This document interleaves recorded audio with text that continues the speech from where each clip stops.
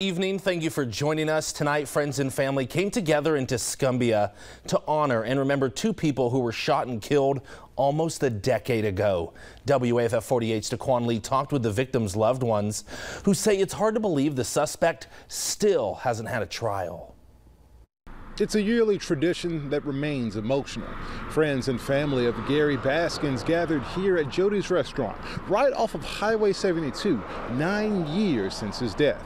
But the family still can't have closure until a conviction has been reached. It's been nearly a decade, but Vicki Holt says the pain of losing her son, Gary Baskins, still cuts deep.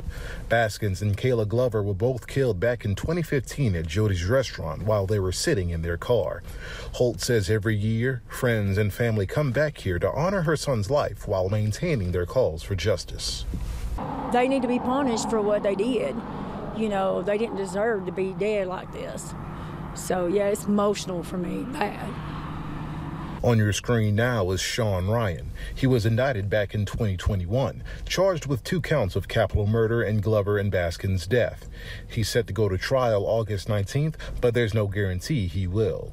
He's had four other trial dates in the last two years, each of which have been delayed.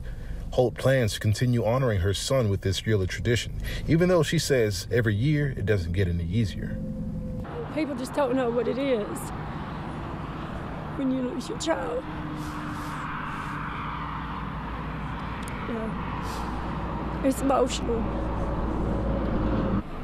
Just a few days ago, the state announced they would not be seeking the death penalty in this case. But no matter how it happens, Vicki Holt just wants to see justice for her son. In Tuscumbia, Daquan Lee, 48 on your side.